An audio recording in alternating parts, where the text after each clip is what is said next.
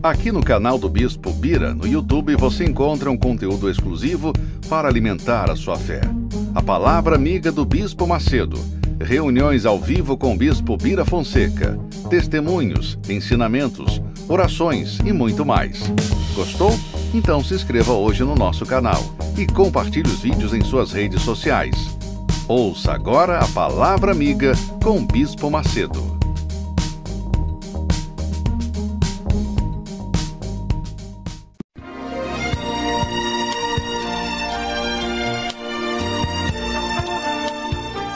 Momento em que a humanidade sofre por tanto desamor, pela fome, pelas guerras, os tóxicos alimentando a violência em nossa cidade. Esta emissora traz até você momentos de amor, paz e alegria, através de um programa feito com carinho para o seu coração.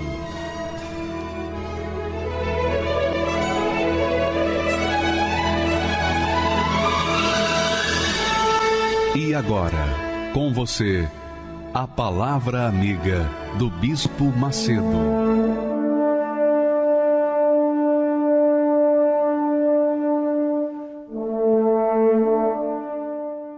Deus abençoe a todos os que creem na Sua palavra. Todos os que creem na Sua palavra sejam abençoados. E essa é a promessa do próprio Senhor Jesus ele disse para os seus discípulos: Ide por todo o mundo e pregai o evangelho. Quem crê, quem crê e for batizado será salvo. quem crê e for batizado será salvo. Quem não crê já está condenado. Então, Fica isso bem claro para todos os que estão participando dessa programação. Quem crê, quem crê e é batizado é salvo. Quem, porém, não crê na palavra de Deus já está condenado. A gente não precisa censurar, criticar aqueles que criticam a nossa fé, não. Se eles não creem, eles já estão condenados. Mas os que creem e são batizados já estão salvos. Então, minha amiga, meu amigo, eu queria que você pensasse comigo, raciocinasse comigo, meditasse comigo nesta palavra gloriosa que provavelmente você já conhece. Mas agora nós vamos meditar nela, que mostra a grandeza de Deus, a glória de Deus o que mais agrada a Deus, o que mais satisfaz a Deus, o que mais faz Deus feliz. Se você quer fazer alguma coisa que realmente agrade ao Senhor, então não há coisa mais gloriosa, não há oferta melhor, maior, mais preciosa do que esta que nós vamos é, meditar agora. Coloque aí o texto, por favor. Então o salmista diz assim: Que darei eu ao Senhor por todos os benefícios que me tem feito? A primeira pergunta. Que darei? Que darei eu ao Senhor por todos os benefícios que me tem feito? O que que Deus precisa para poder receber de nós o melhor? Ele precisa de alguma coisa? Ele não precisa de nada. Conosco ou sem nosco, ele é Deus e vai continuar sendo Deus. Essa é a realidade. A verdade, minha amiga e meu amigo, é que não há nada mais precioso, preciosa para Deus do que a nossa alma. Não há nada mais preciosa para Deus do que a sua alma. Nada, nada. Não há nada mais precioso para Deus do que a minha alma.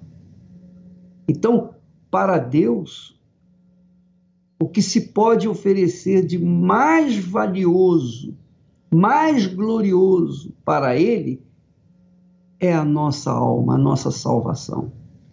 Então, o próprio salmista, conduzido pelo Espírito Santo, responde, porque a pergunta é do Espírito Santo. E a resposta é do Espírito Santo também, porque é o Espírito Santo quem conduz esse texto.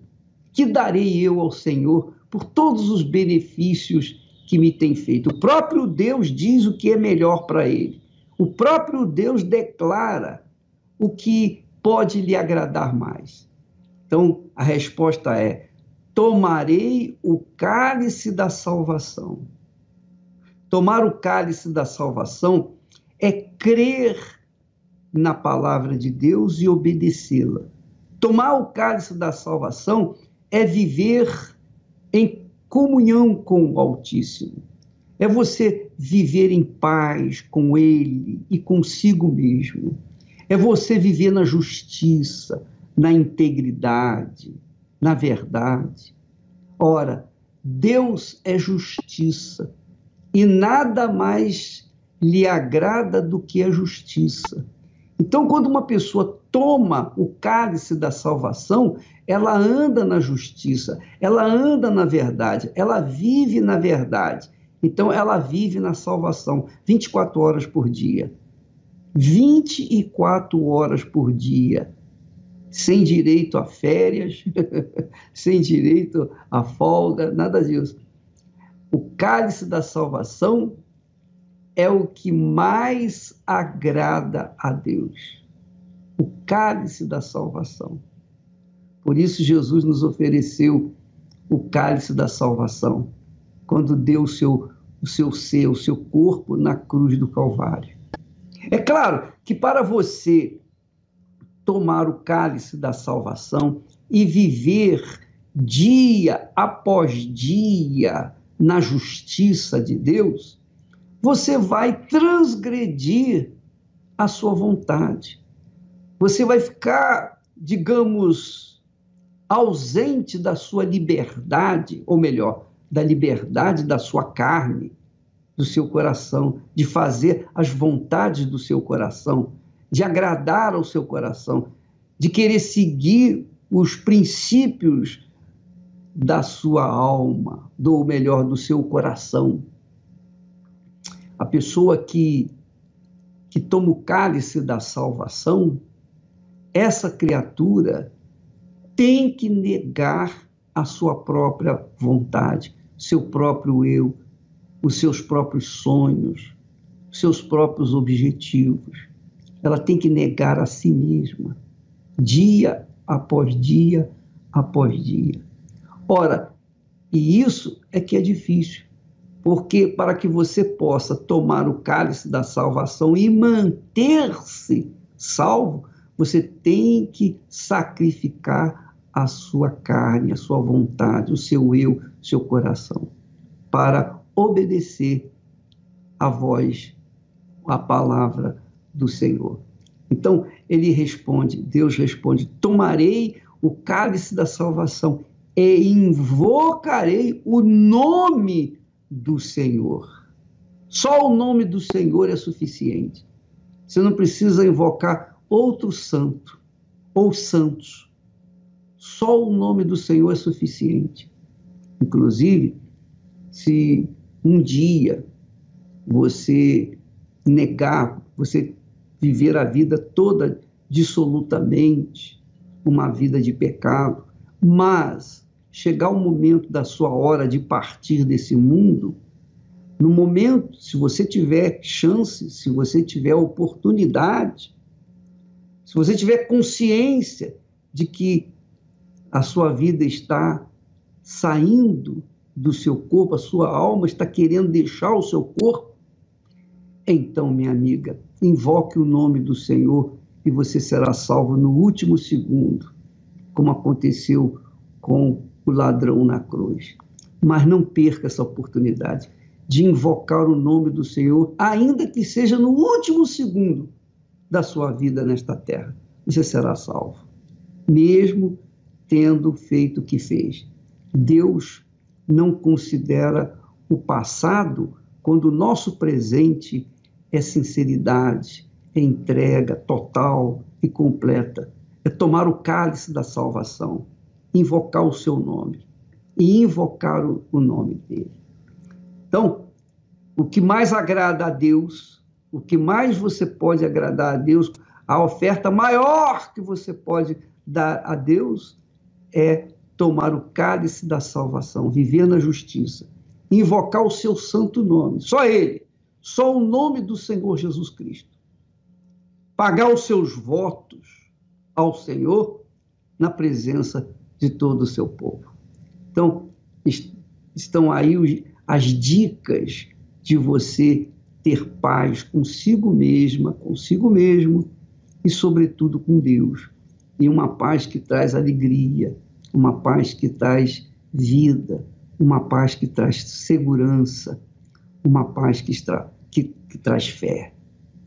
Tomar o cálice da salvação é participar do corpo e do sangue de nosso Senhor Jesus Cristo. É viver no sacrifício, de sacrifício em sacrifício, de fé em fé, até a partida deste mundo. Graças a Deus.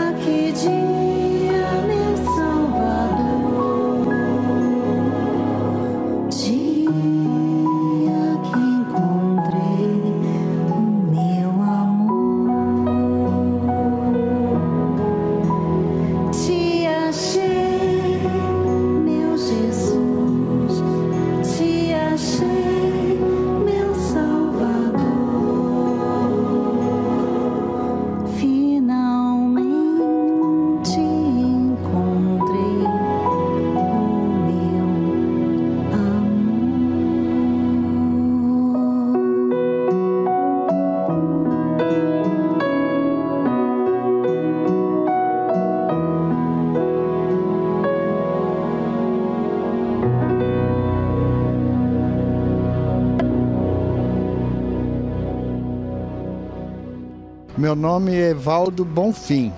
A experiência que eu tenho com outros, outro, vamos dizer, outros momentos interessantes do jejum de Daniel, mas esse foi diferente. Esse realmente foi diferente. Esse eu me preparei realmente de uma forma especial, vamos dizer assim. E aqui estou desde o primeiro dia no esforço de chegar no último dia e ter a certeza que Deus é comigo. O, o sacrifício maior era viajar mais de 600 quilômetros para estar aqui, para fazer esse sacrifício em prol desse objetivo maior, que era o casamento com o Senhor Jesus. E nós conseguimos. Então o senhor viajou 600 quilômetros só para se casar com Deus? Sim. Só para isso. E como é que foi a experiência dele? Foi muito boa. Muito que boa. aconteceu no seu interior? Eu senti muita paz. Muita paz interior. Foi muita paz. Entendeu? A gente é, ouve testemunhos assim. é, E a gente não acredita. Como Deus pode fazer.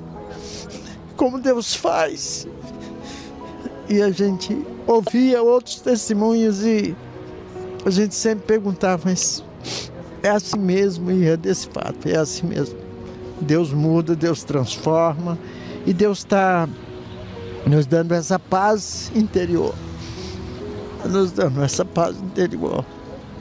E eu quero levar para minha comunidade exatamente como diz, eu, eu vim solteiro e estou voltando casado. Valeu a pena andar mais de 600 quilômetros para me casar com o Senhor Jesus. Valeu a pena. Meu nome é Thaisa, é, sou fotógrafa na área infantil. Eu venho pedindo a Deus para que eu seja instrumento dele. E sem o Espírito Santo, sem a salvação, nunca que isso seria po- possível, né? E hoje, graças a Deus, depois de tanto pedir, me preparar e com certeza também me santificar de muitas coisas né, que a gente precisa, Ele me deu. Foi o melhor presente que eu poderia receber hoje. Eu acho que a vida da gente ela tem que ter um sentido, né?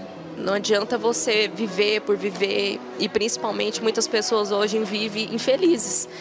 E se você não busca Deus, se você não busca mudar a sua vida e principalmente receber o Espírito Santo, que eu acho que é o ápice do que a gente pode ter, né?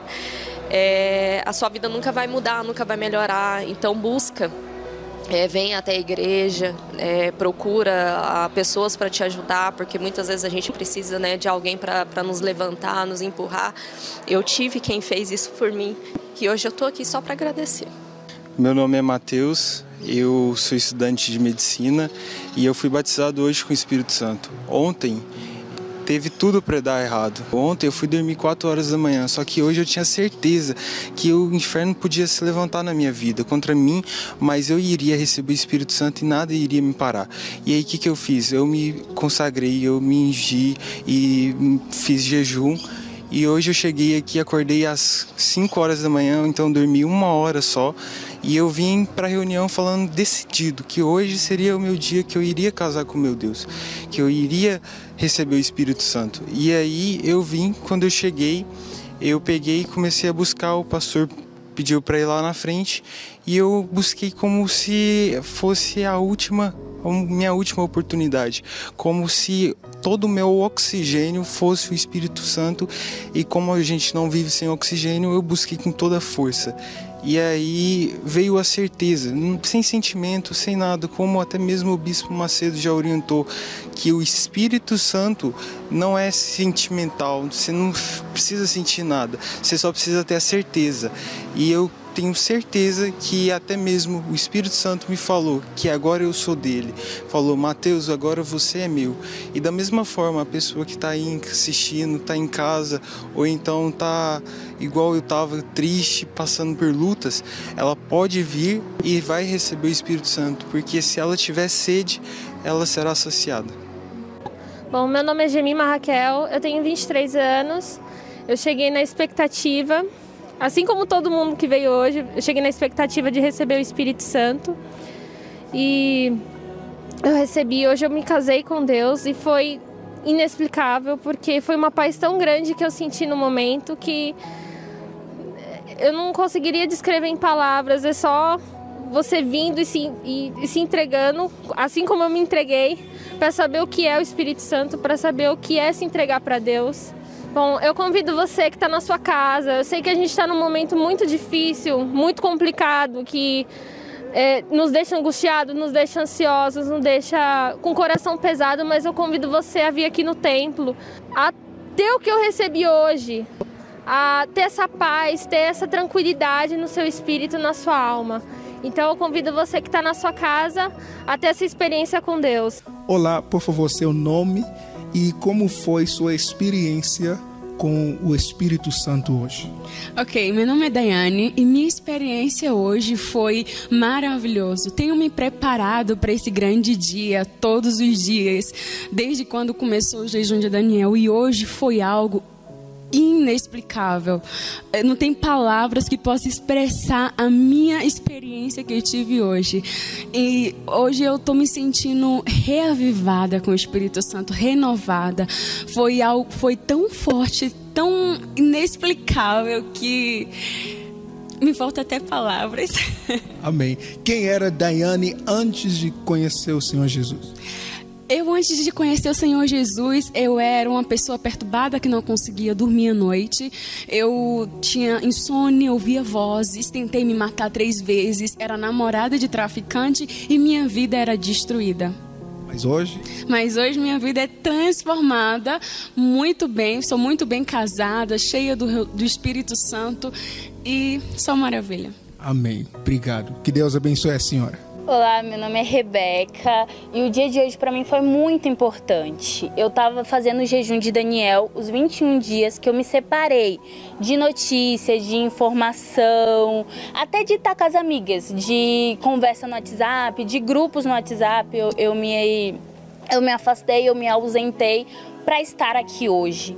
É, inclusive, separei a minha roupa ontem e preparei tudo: o cabelo, a maquiagem, como uma noiva, né? E, e, e não, não foi nada, foi além do que eu esperava.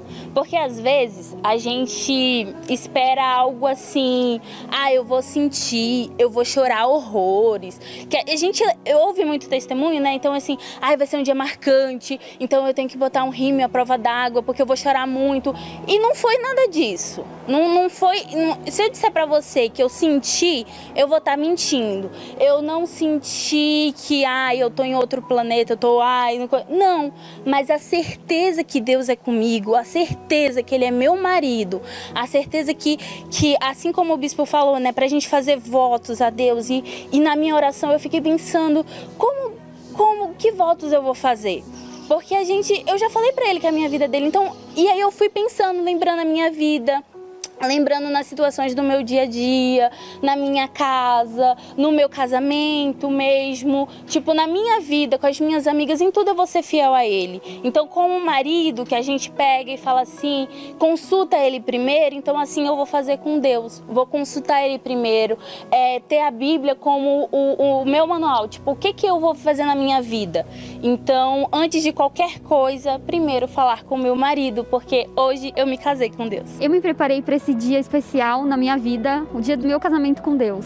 É, eu preparei as minhas vestes, comprei uma roupa nova, preparei a minha aliança, é, busquei durante todos esses dias do jejum de Daniel para que hoje o Espírito Santo viesse tomar posse da minha vida. Eu tinha certeza de que o Espírito Santo ia descer sobre mim. Era, era uma, uma certeza assim como o sol vai nascer todos os dias. Quando eu recebi o Espírito Santo, foi uma paz inexplicável, uma paz que, que, que é de Deus, assim. É uma alegria, uma felicidade. Eu queria rir, eu queria chorar ao mesmo tempo, queria sair falando de Jesus para todo mundo, queria abraçar todo mundo. Foi algo assim muito único e é algo que todo ser humano deveria, deveria vivenciar, porque é algo muito incrível. A partir de hoje, é, eu tenho a certeza que com o Espírito Santo eu vou vencer todas as lutas, eu, eu, vou, eu vou enfrentar as lutas e eu vou conseguir vencê-las. Não vou deixar nada me abalar. O mundo lá fora, os meus problemas, a, a minha vida pessoal, nada disso vai me abalar, porque eu sei que o Espírito Santo é comigo. O Espírito Santo para mim significa tudo, assim, a minha vida. É, ele é o amor da minha vida, assim, é algo,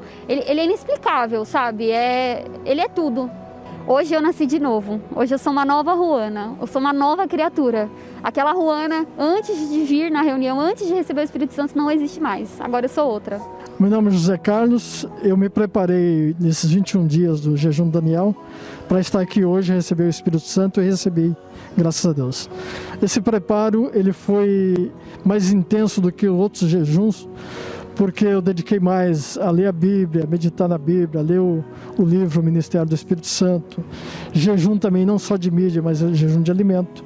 E hoje, quando o pastor chamou lá na frente, para que a gente fizesse esse casamento com Deus, a entrega foi total e a resposta também foi total. Esse batismo ele deu uma alegria nunca antes eu tive essa alegria, uma paz muito grande, muito profunda e esse desejo de cada vez mais trabalhar pela obra, ganhar almas é, todos os dias da minha vida daqui para frente. Eu saio tranquilo, em paz, com muita disposição, com muita garra para trabalhar pela obra. Esse casamento foi o seguinte, foi teve uma, toda uma preparação, né? Nós conseguimos uma aliança nova, preparamos a melhor roupa.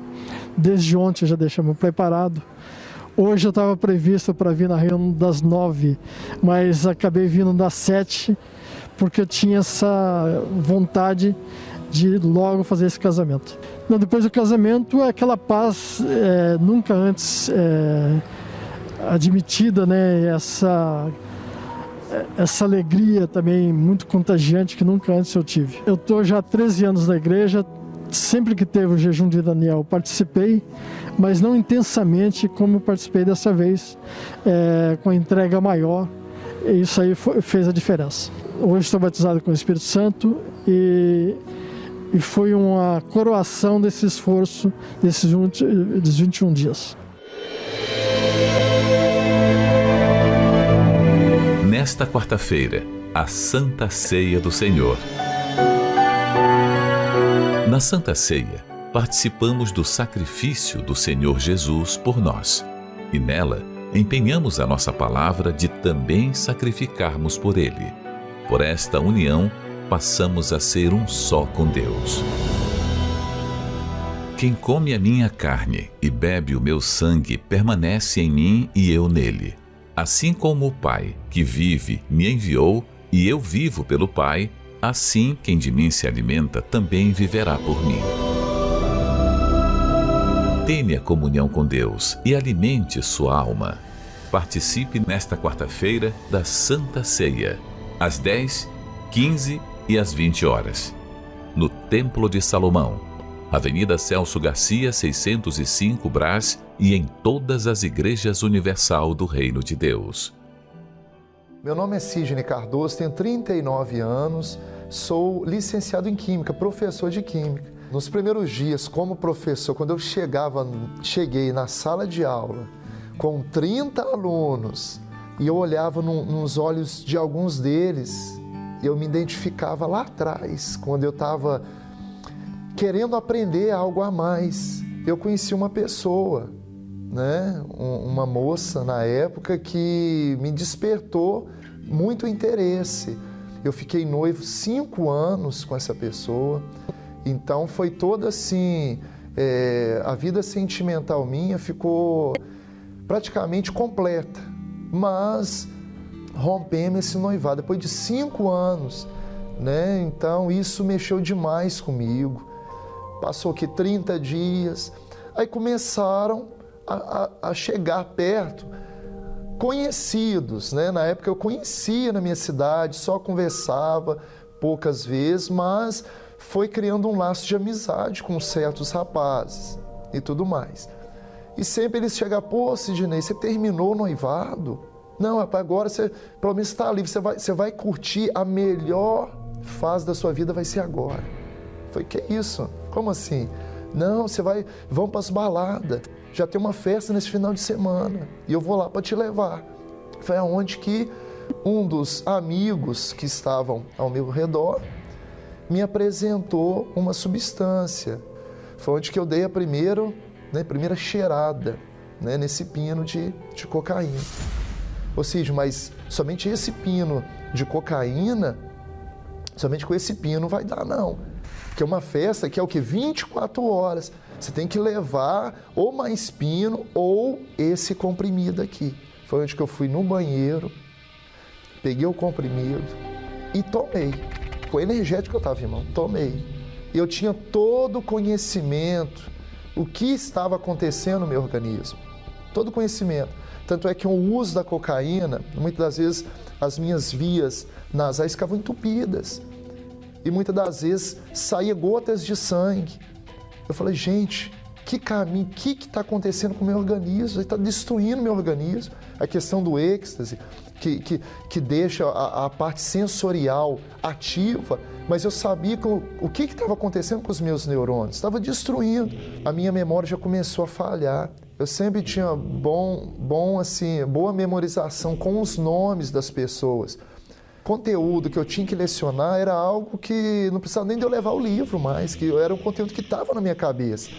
Mas quando eu iria lecionar, ajudar aquele aluno, já começava a fugir da minha memória assuntos que eu já sabia. Poxa, eram assuntos fáceis e eu já estava tendo dificuldade de memorizar como eu iria ensinar o aluno com meu conhecimento de química, professor de química, os novos amigos, quando eles descobriram que eu era professor de química, pô, Sidney, você é professor de química. Então, todas essas químicas assim, alucinógenas, você, você tem capacidade de fazer? Eu falei, sim. Tendo os reagentes, a gente pode produzir tranquilamente. Foi onde que a gente conseguiu é, um lugar que eu falei, pô, tem que ter um laboratório, né? Eles conseguiram todos os reagentes e eu comecei a produzir esse loló, esse nas perfume. Fazia os, os frascos, né? Era frasco de 100 ml, a cocaína e forneciam também o êxtase. A gente já começa a ter respeito. Porque todas as festas que eu chegava, todo mundo já olhava para mim, pô, olha lá o químico, o químico chegou não me faltava dinheiro, não me faltava mulheres, o status estava no auge. Foi aonde que em uma das festas que eu estava até num camarote, eu passei assim, eu usei muito entorpecente, muito. Eu passei muito mal nesse dia. E tinha uma fila do banheiro, tinha várias pessoas na fila para entrar. E eu não esperei a minha vez. Eu fui tirando um por um no braço. Tirando um por um no braço, foi onde que os seguranças da festa, um me pegou de um lado, o outro me pegou de outro. Abriram os portões da casa, me jogaram como se fosse jogar um saco de lixo lá fora. A hora que me jogaram, eu caí no chão. Eu olhei, literalmente, eu olhei para o lado. O que estava do meu lado? Uma caçamba de lixo, cheirando mal, muito mal. E quando eu entrei num carro, dei a partida no carro e fui voltando para minha casa, foi, foi uma das viagens mais longas que eu fiz. Foi onde que veio dentro da minha cabeça para mim cometer é, o suicídio ali. E eu acelerei tanto, acelerei. Eu ia me me lançar com o carro nesse muro, que eu sabia que ia ser morte na certa, pela velocidade.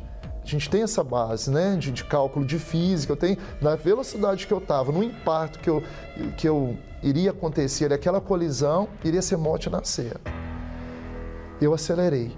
Chegou num certo ponto, faltava o quê? Um quilômetro, mil metros para me colidir, veio aquela voz forte. Faz isso não. Você vai fazer, você vai fazer tua vida. Tua vida é mais importante do que isso. Isso daí vai passar. Mas eu tenho algo mais forte para você. Eu não, não me identificava que voz era essa. Mas era uma voz assim de confiança. Era uma voz mansa e mesmo, mesmo momento uma voz de pai me abraçando.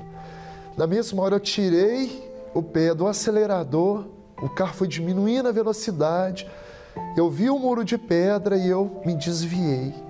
Foi onde que voltou meu pensamento lá atrás, que um dia eu conhecia a igreja, eu estava na igreja, mas não dava valor. Eu já amanheci, já desesperado, já olhava no relógio, porque que hora que é?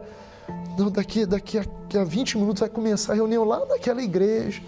Consegui chegar até a igreja, parei o carro de frente. Abri a porta, eu olhei para a porta da igreja universal, né? muito bem, igreja universal. Assim que eu desci do carro, ainda estava um peso muito grande, é muito forte. Porque sabe, aquele, aquele abraço do pai dando ao filho, eu senti aquele abraço me envolvendo. E eu vi que aquele peso que estava em cima dos meus ombros já não tinha mais aquele peso. Eu fiquei leve, com todo o conhecimento que eu tinha de química, com a produção das drogas e tudo mais. Eu me lancei naquela vida errada. Eu comecei a usar a razão. falei, pô, se eu me lancei para a vida errada e a vida errada quase me tirou a minha vida, então eu vou me lançar para esse Deus que me chamou. Nesse dia eu saí da igreja diferente, totalmente diferente. Por quê? As amizades continuavam me ligando, me oferecendo entorpecente, mas só de eu pensar no entorpecente, meu estômago já começava a embrulhar. Eu falei, que negócio estranho é esse? Foi aí que eu tive a certeza que eu estava livre desses entorpecentes. Só de eu pensar no êxtase, meu estômago começava a embrulhar. Na cocaína, que outrora era para mim como uma, um doce, é como algo bom, mas só de eu pensar, meu estômago também começava o quê? A embrulhar. Meu organismo mesmo já estava rejeitando aquilo sem eu frequentar uma clínica. E o meu conhecimento químico e da ciência, eu não estou sabendo explicar o que está acontecendo comigo, que eu estou tendo um repúdio da droga. Se a ciência não explica, o que explica é a fé, é a certeza que algo que não é científico, mas é algo superior à ciência. Então, a minha mente já começou a abrir para um outro lado que sempre a ciência estava bloqueando, não deixando eu abrir essa porta do outro lado. Que lado é esse? É o lado da palavra fé. Sempre o pastor falava nas reuniões: olha, se a tua vida tá boa agora, você tem uma experiência com Deus agora, você não faz ideia quando a fonte de águas a jorrar, isso acontecer dentro de você. A palavra que o pastor falou foi a palavra das ovelhas perdidas. Essa palavra mexeu demais comigo naquele momento. E eu já naquele me preparando, o pastor olhou para mim e falou: olhou não para mim, mas eu eu estava assim, dava a impressão que ele estava falando apenas somente comigo, mas ele estava falando com todo mundo, mas parece que era comigo, que ele falou daquela passagem que o pastor, ele deixou as 99 ovelhas no aprisco. E ele foi atrás daquela ovelha que estava perdida. Eu falei, oh meu Deus, eu era essa ovelha que eu estava perdida nesse mundo lá fora. Eu estou aqui, meu Deus, entra dentro de mim. Foi aonde que eu fechei os meus olhos e comecei a falar com Deus, a falar o quanto Ele é grande, quando Ele é maravilhoso. Aí eu já esqueci de mim, já esqueci da minha vida eu comecei a olhar só para Deus. Eu comecei a falar o quão grande Ele, quão Deus é tão grande, quão Ele é grande. Comecei a dar as qualidades que eu sabia. Comecei a colocar isso tudo para Deus. Foi aonde que acabou essas qualidades. Não tinha mais palavra para falar para Deus o quão grande Ele era é, é uma força tão grande, as palavras saíam, a força ia aumentando dentro do meu coração, do meu peito. Começou a preencher tudo dentro de mim. O pastor terminou aquela reunião, eu saí da igreja alegre, feliz. Eu olhava as pessoas num, num bar, me via vontade tão grande de chegar um amigo. Sai, sai, dessa, sai dessa cadeira de bar, sai daí. É, é, não está te preenchendo, vamos para um lugar que lá vai te preencher. Essa alegria me moveu tremendamente. Depois do meu encontro com Deus, depois do batismo com o Espírito Santo, a hora que eu entrava na sala de aula, já me dava uma autoestima, a autoestima já aumentou. Eu já comecei a olhar e falei, pô, aquele jovem tem jeito. Outrora, a, a, certas partes é, do conteúdo de química que estava desaparecendo da minha cabeça devido ao uso de entorpecente, por fim, a memorização já estava nítida, clara, tudo voltou até melhor. Alguns amigos, professores, eu conseguia levar na igreja.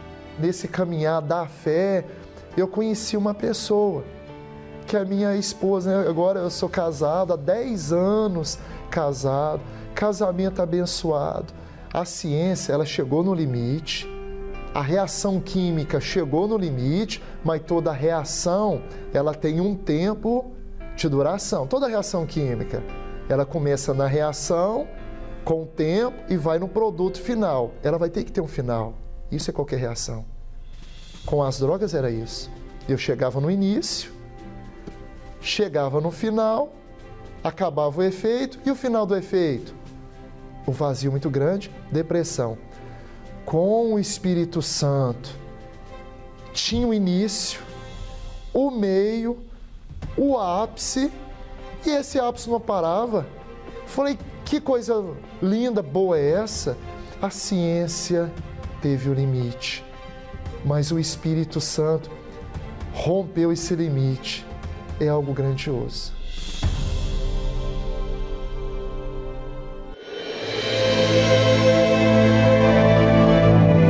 Nesta quarta-feira, a Santa Ceia do Senhor. Na Santa Ceia, participamos do sacrifício do Senhor Jesus por nós. E nela, empenhamos a nossa palavra de também sacrificarmos por Ele. Por esta união, passamos a ser um só com Deus. Quem come a minha carne e bebe o meu sangue permanece em mim e eu nele. Assim como o Pai, que vive, me enviou e eu vivo pelo Pai, assim quem de mim se alimenta também viverá por mim. Tenha comunhão com Deus e alimente sua alma.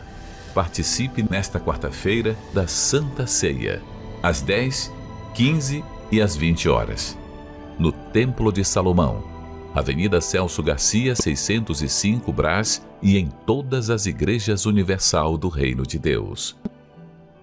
Meu nome é Carlos Alberto, eu tenho 23 anos e já no início da minha história eu já entrei dentro da Igreja Universal, porque meus pais já frequentavam a igreja, então desde pequeno já tive esse conhecimento. Meus pais sempre me proporcionaram educação, me davam do bom e do melhor, sempre o que eu precisava, nada em exageros, mas sempre me mostrando, sempre me podando.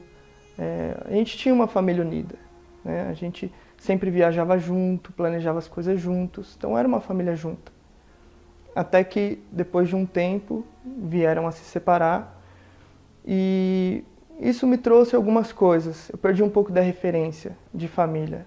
A partir dos meus 13 anos já foi a primeira vez que eu tive uma experiência com álcool e aos 15 foi a primeira vez que eu tive contato com a droga, que foi a maconha. Então, já logo cedo, eu já comecei a perder aquela minha inocência. Então eu não tinha limite. Eu fazia o que eu queria a hora que eu queria. E por estar enraizado no mundo, então já não era mais só um tipo de festa, em vários tipos de festa. Uh, já me relacionava com muitas mulheres. Eu já não consumia mais uma droga, já eram mais de três, quatro tipos de droga. Eu usava muito êxtase, metanfetamina, lança-perfume. Se eu tivesse numa balada, alguma coisa mais reservada também, maconha, lança. Então, dependendo de onde eu tivesse, com quem eu tivesse, eu tinha que me, me adequar aquele ambiente, aquelas pessoas. Então, muitas vezes eu fazia as coisas, eu nem percebia, eu já estava fazendo. Teoricamente eu tinha tudo, né? tinha amigos, tinha mulheres, tinha dinheiro, podia fazer o que eu quisesse, a hora que eu quisesse. Mas nada daquilo ainda era aquilo que eu buscava. Dentro de mim faltava algo. Eu não sabia que algo era esse. Por isso que eu sempre estava experimentando de coisas novas, pessoas novas, lugares novos cada vez usando mais quantidades de droga ou bebendo mais, chegando a limites. Eu me olhava no espelho e já não me reconhecia mais. Eu não sabia mais quem era o Carlos. Eu me olhava e falava: que ponto estou chegando? Quem sou eu? Já não sei mais quem eu sou sem a droga. De tanto que eu consumo, eu já não sei como eu sou mais normal. À noite eu tinha problemas para poder dormir, eu, eu, tinha perturbação, eu tinha impressão de que alguém ou alguma coisa ia aparecer, ia me pegar. Então eu, eu dependia da droga para usar muito, a questão da maconha, para eu chegar em casa e já dormir direto. Porque se eu ficasse só, eu não tinha, eu ficava agoniado, né? Eu não conseguia ficar no meu quarto todo escuro. Eu tinha esse problema. E através disso, minha mãe buscando através da fé dela a minha transformação, um dia quando eu estava numa balada eletrônica, eu me lembro que e ali Deus fez eu olhar de ponta a ponta aquele lugar onde eu estava. Eu vi aquela multidão, aquele monte de cabeça igual, e Deus falou assim para mim: Isso aqui é a visão do inferno. Isso aqui não é lugar para você. E eu tomei a decisão. Meu pai, na época, estava morando fora do país. Eu liguei para ele falei: Pai, como é que tá as coisas aí, tudo? Tô pensando em me mudar, tal, ficar um pouco com o senhor aí. Ele falou: Não, pode vir. E eu cheguei lá dia 21 de janeiro de 2018. Era um domingo, 6 horas da manhã. E aí eu encontrei meu pai e falei: Pô, pai que horas que é a reunião? Vocês vão na reunião hoje? Não, meu filho, você acabou de chegar, vai lá descansar tal. Falei, não, pai, eu quero ir. Dentro de mim eu já estava decidido. Então, no mesmo dia que eu pisei o pé lá, eu não fiz nada. A primeira coisa que eu fiz foi ir na reunião de domingo. Tudo que o homem de Deus ali na frente falava, pregava através da palavra, e eu escutava aquilo e falava, ah, a partir de agora eu não posso mais mentir. Então, eu já procurava o máximo mudar o meu caráter. A partir de agora você não pode mais assistir pornografia, masturbação. Cortava eu decidi entrar nas águas.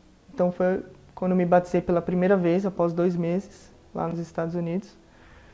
E aquilo, na hora que eu subi das águas, que eu saí de lá, aparentemente não mudou nada. Mas dentro de mim havia uma força para eu falar ainda mais não para aquilo que vinha me afligir. E aí, decorrente, como os obreiros né, eram próximos de mim, tinha um que cuidava em especial de mim, que era do grupo jovem. O pastor me aconselhava também e falava: Ô, oh, Carlos, a gente está vendo, né, a sua mudança, a sua entrega, você está aqui na igreja direto com a gente e tal, mas você precisa agora buscar o Espírito Santo. Vai ter momentos de luta, de dificuldade. E para você sustentar sua fé, imagine daqui um ano, dois anos, cinco anos. Então você precisa do Espírito Santo para você se manter firme na fé, né? para você se blindar de fato e de verdade desse mundo. E aquilo despertou um, um interesse em mim. E aí eu me lembro que Chegou o jejum de Daniel em agosto, depois de uns 3, 4 meses que eu havia me batizado. Eu vi ali o jejum de Daniel como realmente uma oportunidade, porque eu não sabia direito muito como demonstrar para Deus que eu queria realmente o Espírito Santo. Que ali eu já estava entregando minha vida, mas tinha que ter um algo a mais. Uh, a primeira dificuldade para mim, que eu nunca tinha feito antes, era me libertar das redes sociais. Eu tinha um vício ainda querendo ou não, estava buscando a Deus e já não via mais besteira na internet, mas eu perdia muito tempo com Instagram, Facebook, coisas que não me traziam acréscimos, né? E eu passei a substituir aquilo por livros, pela palavra de Deus, por ouvir as pregações no YouTube. E aí eu estava me preparando para o último dia. Eu lembro que ia ter a live ao vivo lá de Israel. E eu falei, não, é agora. Vai ser esse domingo, eu tenho certeza. Estou dando o meu máximo para Deus, a minha vida eu já entreguei, já renunciei tudo e tal. Me veio aquela certeza, aquela força dentro de mim. Deus confirmando ali para mim que ele tinha se agradado, que ele estava se agradando de quem era aquele novo Carlos. De todo o sacrifício, de tudo aquilo que eu entreguei, que eu renunciei. A minha coragem, a atitude de dar um passo para conhecer ele. Então ali houve realmente uma aliança. Eu vi que Deus firmou uma aliança ali comigo naquele dia. E me veio uma alegria, uma paz tão grande. O Espírito de Deus entrou dentro de mim, porque Deus ele é autossuficiente. Então, quando o espírito dele passou a entrar dentro de mim, eu fui completo. Ali eu não precisava mais de pessoas e nem de coisas para ser feliz. Não bastava nada. Ele bastava para mim. Então, aonde quer que eu vá, no meu trabalho, para outras pessoas da minha família ainda que não são convertidas, para quem quer que seja, sempre que eu tenho oportunidade, eu vou e falo de Deus, eu convido, eu me esforço, eu vou, eu busco, eu faço o que for possível. Porque o próprio Deus fala que a gente tem que dar aquilo que a gente recebeu de graça. Bom, e depois que eu recebi o Espírito Santo, mudou tudo dentro de mim, né? Até o meu relacionamento com os meus familiares, principalmente com a minha mãe, né? Que eu vi que ela sofreu muito por mim.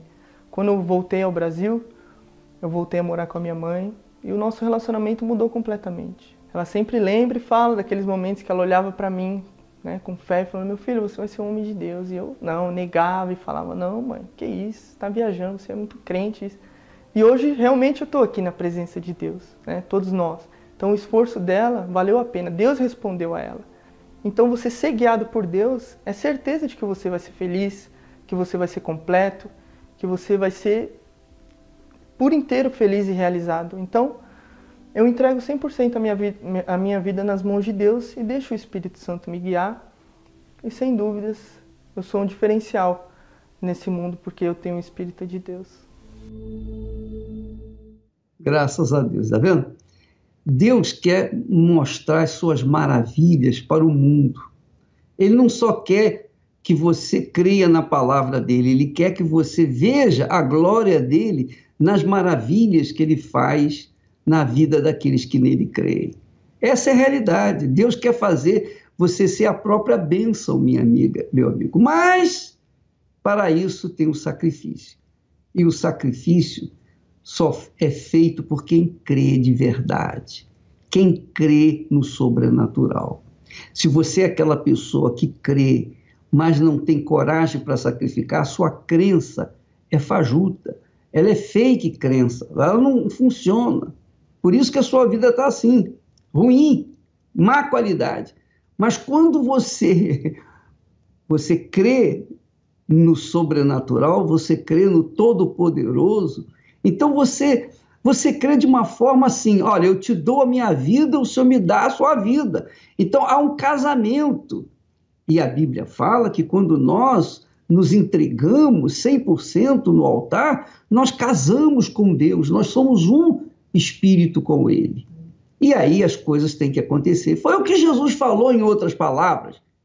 Buscai o, o reino de Deus em primeiro lugar e todas essas coisas vos serão acrescentadas.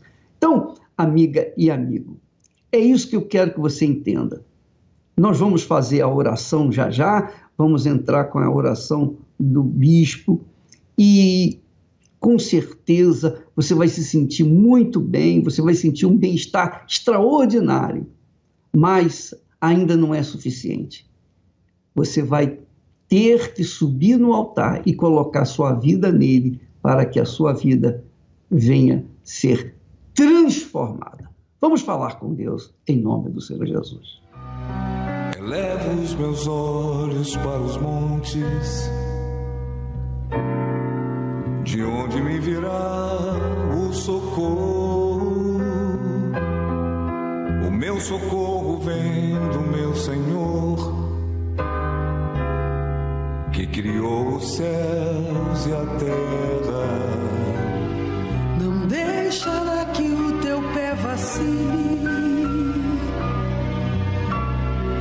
O Senhor é quem te guarda.